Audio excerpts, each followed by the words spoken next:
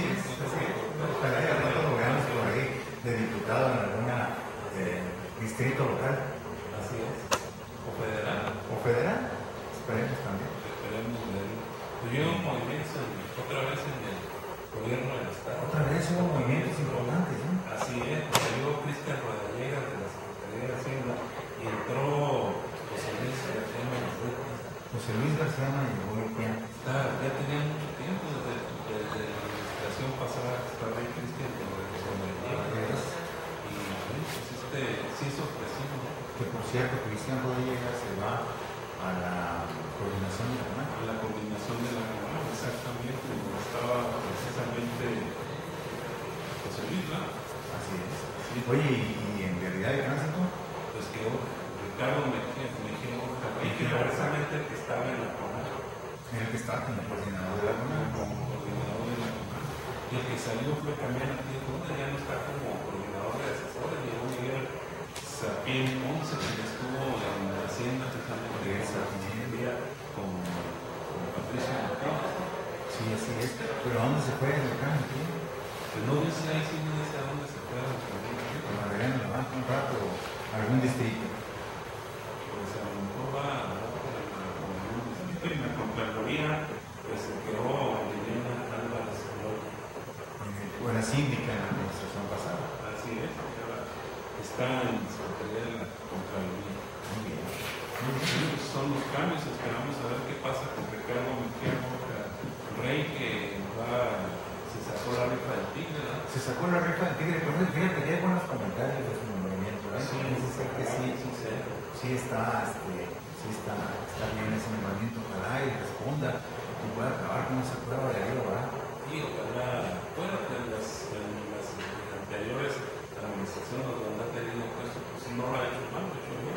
Así es. Así es, esperamos que, que sí lo haga bien también acá en la dirección de Galería. No podemos más que decirle que, que mucha suerte, que le eche ganas y, y ojalá y se cumpla el cometido de tener una dirección de Galería más acorde con las necesidades del Estado. Y que se acabe eso que tú como bien dices, Menos ¿verdad? la corrupción. prueba de Alibaba, que realmente es, es una corrupción todo lo que hay en el departamento de verdad, en la dirección de verdad.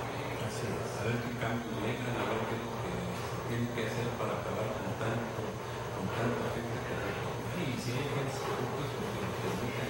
De alguna manera, si, si no se los permitieran o si no hubiera de alguna manera sí no que opciones para que les den chance de que sigan trabajando eh, ahí en las carreteras, en las, en las- En la ruta de la sal y en la ruta del amor. la ruta de la sal, ¿cuál es la ruta de la sal? La ruta de la sal, pues la de aquí, de De la de sal. San Luis, ¿verdad?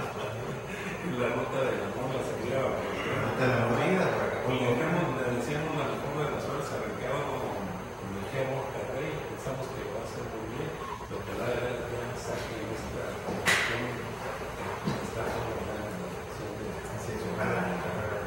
En el gobierno del Estado se están trabajando en tres frentes para atender el problema de la falta de violencia en la región serrana. Esta es una declaración de Ramón Romero Maldonado. Que se está trabajando en proyectos productivos que son aquellos que tengan un recurso o un valor agregado. Otro es apoyo a la producción de autoconsumo de algunos artículos en la Baja Tar- Tarahumara. Y la tercera vertiente, la política asistencial de la entrega de defensas y comunicación, fue el secretario general del gobierno. Pues mira, eh, déjame hacer un comentario Mira, se escucha lo mismo siempre. Lo Se, mismo. se escucha lo mismo siempre. Los proyectos productivos. Haría una pregunta. ¿Ya modificaron las reglas de operación? ¿Ya es más sencillo tener acceso a los pro- proyectos productivos? ¿O siguen con lo mismo de siempre? Que pregonan el proyecto productivo o la asignación de proyectos productivos y a la hora de aterrizarlos resulta que no hay condiciones para que se aterricen esos proyectos y ahí se queda. O de lo contrario, se aterrizan esos proyectos y luego no hay un seguimiento real para esos proyectos. Simplemente se crea el elefante blanco, se saca lo que se pueda sacar y ahí, ahí termina el proyecto. Bueno, pues son de proyectos productivos, ¿sabes? Ya Ese no es el camino. Sí, ya tengo varias experiencias con proyectos productivos en la zona serrana, por ejemplo. Lo hicimos con dos localidades de la sierra, una de ellas Rosario y la otra fue Aquiachi, pero bueno, este, nos dimos cuenta de cómo se maneja esto internamente, esto de los proyectos productivos, y la verdad es que salimos muy lastimados de la forma en cómo se llevan a cabo. No pudimos aterrizar, no pudimos aterrizar un proyecto en la forma en como nosotros queríamos aterrizar, de manera de que hubiera la producción necesaria, de que hubiera un beneficio colectivo, no se llegó. Por un lado, fue más fácil conseguir gente que, dijera, este, yo puedo apoyar con 150 eh, kilogramos de semilla de trigo para que se la lleven a la sierra, échelos, vamos, no nos encargamos de llevar a la sierra, señores, aquí está este producto, siempre para que tengan cosecha y puedan comer. Es más sencillo, y mil veces, trabajar así con la participación, con, el apoyo, con la decisión de la gente que con los programas de gobierno, sobre todo con los proyectos productivos. que no nos vengan a decir que están haciendo proyectos sierra, por favor, pero que queremos ver son resultados de esos proyectos, que se aterricen y que haya un seguimiento de esos proyectos para poder decir que efectivamente es un punto de Segundo, lo que sería conveniente es precisamente internarse en donde van a salir estos proyectos productivos que se van de ellos dicen y que poner cuentas a la ciudadanía de cómo se están haciendo estos proyectos y les digan a los que realmente saben de esto de proyectos productivos cómo están y qué es en realidad. Sería, sería interesante. A ver, a ver si efectivamente esos proyectos productivos llegaron a donde deberían llegar, se aplicaron como se deben aplicar y se les está dando un seguimiento para poder explotarlos en todo el Cuando eso suceda podemos decir, ahora sí hay un apoyo. Mientras tanto son palabras y ahí se quedan palabras. Así es. La segunda, ¿cuál era la segunda que nos comentaba? La segunda es los proyectos productivos. Apoyo a la producción de autoconsumo energías hortícolas o frutícolas otra, otra, otra este, panacea igual. Nos dicen eh, que, hay este tipo de apoyos, pero la verdad es que allá la gente eh, se está muy Definitivamente. No hay manera de que tengan ellos su propia producción porque no tienen los recursos necesarios para hacerlo. Las reglas de operación el clima no les ayuda. No, hay lugares en donde no tienen agua. Hay mucho para bajar el agua de, de, o para subirla. Entonces hay una serie de problemas graves que impiden que esto se llegue a cabo de una forma como debe hacerse. Creo que este tipo de proyectos son excelentes, siempre y cuando se tenga todo un esquema para de ellos, un esquema operacional efectivo. Mientras esto no exista, pues se quedan en el papel y en muy buenas impresiones, pero nada más, no pasa de ahí. Y nos hablaba de una tercera rama. Sí, la entrega de cobijas y defensa. La política asistencial política asistencial que se maneja, el paternalismo que se maneja, que yo les aseguro, porque los mismos indígenas nos lo han dicho muchas veces, nosotros preferimos que vengan y que nos enseñen cómo hacer las cosas, que nos den las herramientas necesarias para que nosotros podamos hacerlas, a que nos traigan las cosas hechas. Ya no queremos cobijas, ya no queremos comida, lo que queremos es proyectos, queremos eh, condiciones de vida dignas que se dan a través de empleo, queremos empleos, queremos mejorar la condición de vida de los indígenas, pero de una forma positiva, de una forma sencilla. De nada les sirven a ellos una política asistencial de políticas y despesas que les van a solucionar el problema temporal, momentáneo, de que tienen hambre un día y ahí está la despensita y con eso mitigan el hambre el día y al día siguiente que va a haber otra despensita. O, hay que esperar una campaña electoral para que las, las, las despensitas lleguen a esos lugares de la ciudad con ese tipo de cosas. Así es, además piensan crear tiendas campesinas que estarán ubicadas en las comunidades de, mayor población, en donde se llegarán los productos que, son más necesarios en estos momentos, como es el frijol, el maíz, el café, el azúcar y el sal. Pues eso ya existe con las bodegas de Liconza, las tiendas de Liconza, ya existe ese proyecto, es a nivel federal y no ha dado resultado. ¿Por qué? Pues porque no hay una política eh, de, seguimiento, de vigilancia, de constancia de, este tipo de situaciones. Hay varias bodegas en la sierra. Además las van a poner en las, en las poblaciones con, mayor, con, mayor, con más cantidad de habitantes, pero donde está el problema grave precisamente donde no hay muchos habitantes, en, las, en las poblaciones pequeñas, en las rancherías, en que es donde precisamente está faltando mucho está faltando agua. Tenemos un reportaje que nos enviaron que, sabes que ahora los indígenas tardan hasta 8 horas en ir por agua y regresar, pero ¿qué tanto puede, puede una, una mujer, un niño indígena, un, un hombre, con agua, con hielo, no trae casi agua? Oye, se está preocupando este señor por ver en qué condiciones está viviendo. No hay una ley que protege los derechos de los indígenas. No hay, ahí está congelada, tiene más de 15 años. Ayer precisamente estaba revisando eh, que me encontré por ahí. Me encontré un documento que habla de, era del 2007 y habla de ese documento de que los indígenas requieren el ley indígena y un documento precisamente signado por una comunidad indígena eh, pidiendo que se legisle en este sentido. Dice, tenemos 10 años con la ley indígena congelada en el 2007 hace cuatro años y sigue igual, sigue congelada para cinco años y sigue congelada la ley indígena. Entonces, ¿hasta cuándo van a dejar de decirnos las cosas que se van a poner a trabajar? Así, bueno, Marco Adán se puso las pilas, hizo un recorte a gastos, a obras licitaciones, hasta millones, hasta 80 millones de pesos. Va a disminuir el gasto corriente, el uso de celulares, de vehículos, y bueno, el ahorro va a ser al orden de 80 millones de pesos. Pues es muy efectivo y es muy bueno eso, porque realmente eh, todo ese gasto pues viene de los impuestos, así es, ciudadanos, de lo que nosotros pagamos de impuestos. Entonces lo que nosotros mínimamente debemos reclamar pues es que sea correcta la aplicación de nuestros recursos. Yo siento que si a nivel nacional se hiciera esto del, del recorte del gasto, ¿Te imaginas lo que se ahorraría? se ahorrarían cantidades estratosféricas de dinero que servirían para, para paliar el hambre y la sed de muchas etnias indígenas, no nada más del estado de Chihuahua, de toda la República Mexicana.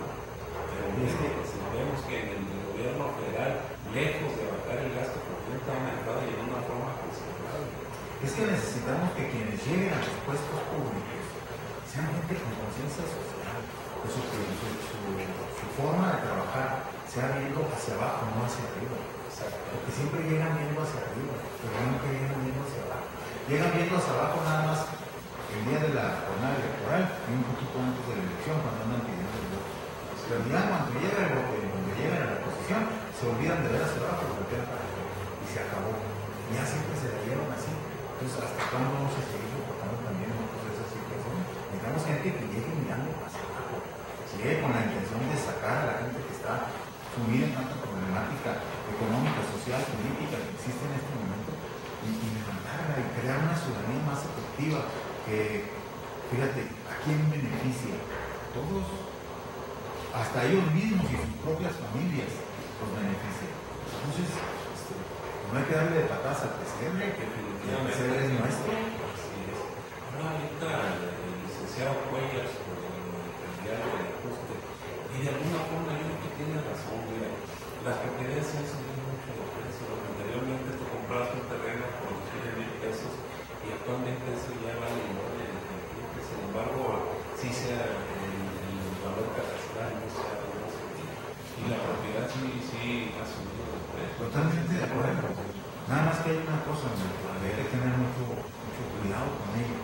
Tenemos una ley eh, magnífica, es nuestra constitución. Nuestra carta magna es lo máximo que puede haber. Desgraciadamente no lo aplicamos, pero bueno, la constitución nos dice muy claramente que los impuestos deben ser. Y equidad, ese es el problema. O sea, no es el problema de que haya subido el, el, el valor y tengamos que pagar más impuesto predial.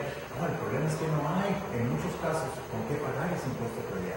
Claro, la gente que lo tiene debería de ser, eh, el que tiene más, pues pague más, obviamente, y el que pague menos, que pague menos. Pero aquí en México ya vemos que Eso no que se pasa al revés, grandes capitales, grandes inversionistas en México, grandes empresarios, bueno, ven la- están viendo la forma como evadir impuestos. es. Y es a los que se debería de obligar a pagar los impuestos tal y como debe de ser. Pero es lo que te digo de los funcionarios y políticos que tenemos ahorita. Los 300 pesos que vamos a pagar por vehículo, aquella persona que tiene un vehículo que vale un millón de pesos, ¿sabes cuánto va a pagar de tenencia? Por lo mismo. 300 pesos. Es Y aquella persona que tiene un vehículo que vale 7, 8 mil pesos y que lo echa a volar con un chorrito de gasolina todos los días, ¿sabes cuánto va a pagar de impuesto? 300. 300. ¿Eso es equitativo? No, ¿Eso es equitativo? falta- No, no es. Pero fíjate que dice, dice los panistas que ellos votaron este diputado Beltrán del Río de la bancada panista, dice que votaron por el nuevo impuesto, pero únicamente para el 2012. Y a partir ya del 2013 ellos no, están, no van a, a votar porque siga este impuesto. ¿Qué pasó en 1968? Sí, dijeron que iba a ser nada más el impuesto de la tenencia para las entidades, al final de cuentas todavía hay muchos estados que lo siguen pagando y nosotros lo volvemos a pagar. De alguna manera es una tenencia. No se puede ser medio puro, no se puede estar medio embarazado, Así o embarazada, embarazado, medio embarazada, ¿no? Pues está, o sea, no se está. Entonces no puede decir uno es que este año yo voy a hacer un poquito más eh, este, Eso también es que año que viene, el año que queda, yo, yo voy a ser más sensible, voy a ser. Pues no, o sea, no es, no es cierto, ¿no? No es cierto. Si es así, pues es así, es vas a hacer todo tu Y día. Lo que pasa es que no esperaban la reacción la gente que se pusiera que de alguna manera protestara tanto por este impuesto. Y yo creo que este es un motivo por el cual están viendo marcha. Ya ves que los regidores andan andan promoviendo el amparo para esto que los diputados autorizaron, porque están reconociendo que ellos autorizaron. Aunque sea nada más para el 2012, pero lo autorizaron. Lo autorizaron, claro, y ese es el problema. Sí, que lo autorizaron. Y, y- y no es tanto, te digo, los 300 pesos, porque en todo caso, pues, la gente está demostrado, el 67% del perdón ya pagó su Ya predial. vamos a predial. Entonces la gente quiere participar, pero también hay que corresponderle a la gente. Hay que decirle en qué se van a gastar, cómo se gastaron, eh, en fin, tener toda a la mano de quien solicite, no hacer las cosas por debajo del agua. Sí, además siguen las filas en la misma recaudación de renta. Todos quieren pagar, a pesar del aumento, a pesar de que, de que van a pagar este nuevo impuesto, están haciendo las filas, quieren, quieren cumplir. Eso es bueno, eso es bueno, porque bueno, pues hay, hay una eh, conciencia de la gente de que el impuesto es necesario. Si no. Lo que no queremos es que pasen las cosas como pasaron en esta ocasión, que nos, nos pongan tanta, eh, tanta traba para, para, este, no decirnos de qué manera vamos a, a cooperar y luego imponernos una cooperación. Eso es lo que no se vale. Eso es lo que, es lo que está en consejo. Además, como lo he manifestado en muchas ocasiones, lo hemos manifestado aquí, hay que hacer una forma en que los impuestos, estos impuestos, que todo el mundo quiere pagar, ya lo estamos viendo, pero hacerlo más fácil. ¿Qué caso tiene que la gente esté con este frío o en tiempo de calor con calor, eh, haciendo fila para pagar sus impuestos? Debe hacerse una forma más, más rápida y más fácil de pagar los impuestos. Por ejemplo, esto nos lo prometió Felipe Calderón cuando, cuando andaba de candidato y nunca se llegó a nada, este, hizo nuevos impuestos y además nos, nos hizo que se fuera más difícil el pago de los impuestos. Pero ¿qué te parece si este, hacemos una breve pausa e invitamos a nuestro amigo Jorge Lona que se venga a la mesa? Tenemos, tenemos un, un video de Marco Antonio Ibarra. Vamos a verlo. Vamos a verlo y llamamos a que venga con nosotros, nuestro amigo Jorge Corona, y seguimos platicando.